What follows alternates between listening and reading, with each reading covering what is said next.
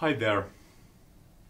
Now we have come to the point where we are considering the concept, concepts of risk and uncertainty again. And let's look a little bit uh, behind the theorizing of uh, them, these two concepts. Well, um, Knight 1921 um, defined risk that it is a priori, it is known probability. So, for example, casting a dice uh, results for two uh, possible outcomes, so it is exact. We know the risk. We can refer to the term known unknown in a way. And uh, it's based on statistical probability. There is frequency in the nature, and uh, it can be uh, statistically measured, and even we can insure against that because uh, we have the statistics of, for example, uh, fire burning our house down and so on. So uh, the insurance companies can uh, insure these kinds of risks. Whereas the uncertainty is a kind of an estimate or it is a judgment. So it doesn't have a, a valid basis for classifying instances and it cannot be insured against. It is our uh, understanding or lack of understanding what might happen. So here we might refer to the word, word uh, unknown unknown if we like. We also can use these concepts of first order and second order uncertainty. The first order uncertainty uh, refers to situation where you know the outcomes in advance, even if the outcomes is uh, stochastic. And the second order uncertainty you don't know the probabilities or not necessarily even the outcomes. So this comes to these uh, uh, concepts also in the previous slides. And in statistics, the first order uncertainty refers to vari variability in the data. Uh, and the second order uncertainty refers uh, to kind of a standard error or estimate error, uh, which uh, cannot uh, be necessarily known depending on who uh, the estimator is or how, how the estimate is done if it's not done previously.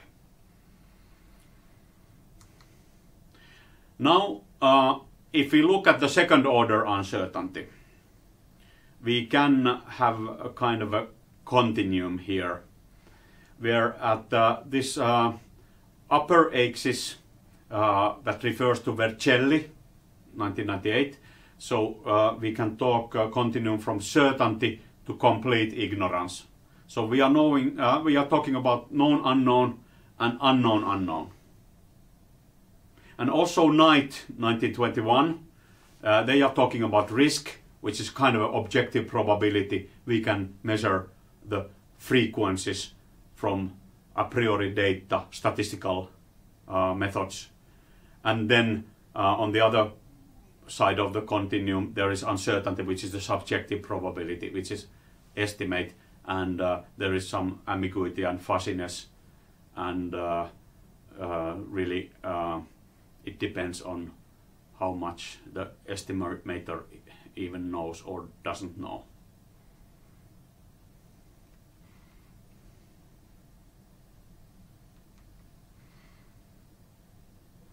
Then this picture wants to illustrate the fact that people are not necessarily very consistent decision makers base, basing their uh, decisions on uh, uh, really uh, solid reasoning. Uh, but there might be biases a lot of biases uh, depending on how things are provided the initial data is provided to the person and how it's communicated. For example, this uh, question that imagine that the rare disease is breaking out in some community and uh, is expected to kill 600 people. There are two different programs, A and B, to make decision on that are available to deal with the problem. Program A, 200 people will be saved, and in program B, one third, 30% uh, probability that everyone will be saved and 66% uh, probability that no one will be saved. And if we put this in another way, uh, the new programs can also be communicated that there is a program C, 400 people out of 600 will die, which is the kind of a same, uh, in fact, as uh, the program A, but it is communicated in a different manner, or D, one third probability that no one will die and two third probability that everyone will die, which is kind of a say, uh, same than B. But depending on how we communicate this, it might be that a person uh, comes to uh, different conclusions about which uh, probabilities, uh, well, which, which programs to prioritize. So people's behavior is affected by emotions, wrong information, own capacity to accept risk, and uh, uh, mentally people tend to avoid losses. Uh, there is a kind of a mental uh, accounting, and uh, if people are really tired and or stressed, then we tend to become even more risk averse.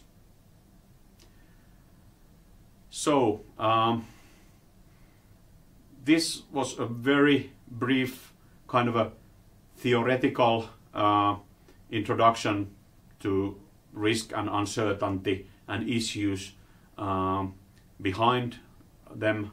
So I hope that this uh, opened some aspects in your understanding about those and uh, also uh, some more gave you some more understanding about the applicability of how to estimate risks and uncertainties or how to manage them in projects.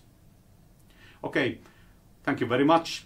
Uh, looking forward to talking to you soon again. Bye.